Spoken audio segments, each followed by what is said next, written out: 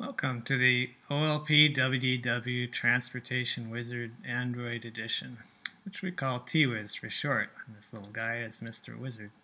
When you open up the app, the first thing you'll see is a list of all the locations at Walt Disney World. The purpose of this app is to help you figure out how to get from one place to another at Walt Disney World. So it's uh, simply choose the place where you want to start from. On the next screen, you'll be choosing where you want to end up. Uh, what we try to do here is give you interesting routes like that include monorails and boats, as well as cars, buses, and walking as other options.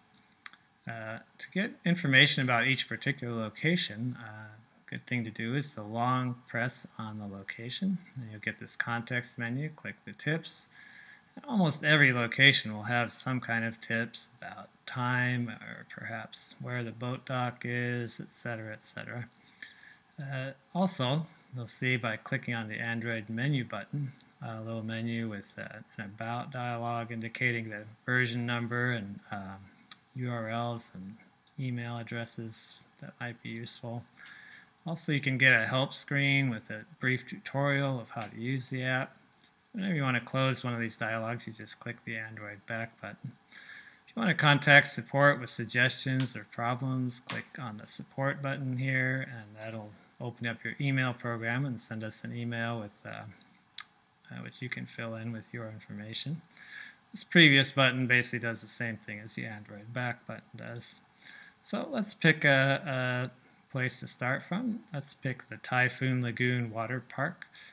Uh, and let's say that we're trying to get back to our resort, which is, uh, let's say, the Boardwalk Inn. And Mr. Wizard will make a suggestion, which may include a boat route here, like this one, where you transfer from a bus to a boat. And it gives you an estimated time, which, of course, is a rough estimate with a little bit of extra time added in for the transfer time. Uh, this, of course, can vary quite a bit depending on the time of day or the year or just your luck in general. If you long press on this result, you'll get a context menu again with tips for all the locations involved in that route. Uh, also, you can long press on the same thing and uh, share your own time or tips. So if you measure the time for a route, you can send it to us and we'll take it and incorporate it for the benefit of other users. You can also send us tips, which we'll add into our tips database. Again, you can get to the TWiz tutorial and about TWiz from these context menus. That concludes our demo for today. We hope you enjoy our app.